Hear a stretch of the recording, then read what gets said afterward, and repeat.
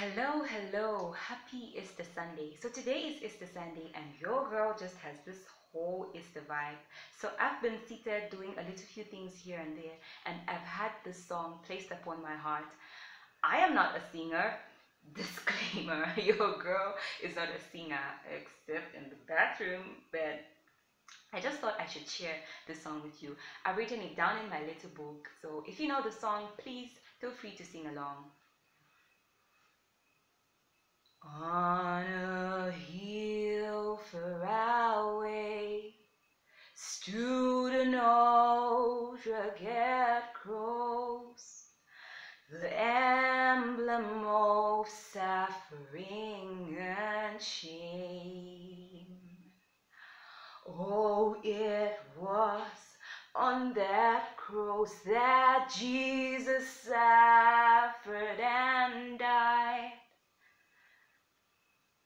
pardon me. Oh, it was on that cross where the dearest and best for the world of lost sinners was slain.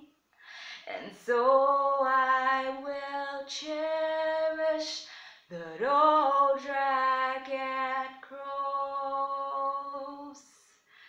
till my trophies.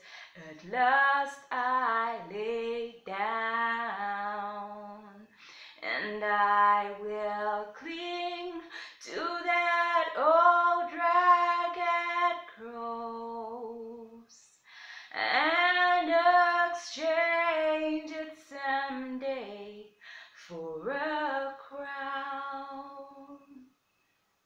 so that is not the full song, but I hope you, if you know the song, in fact, if you know the song, comment the name of the song in the comment section.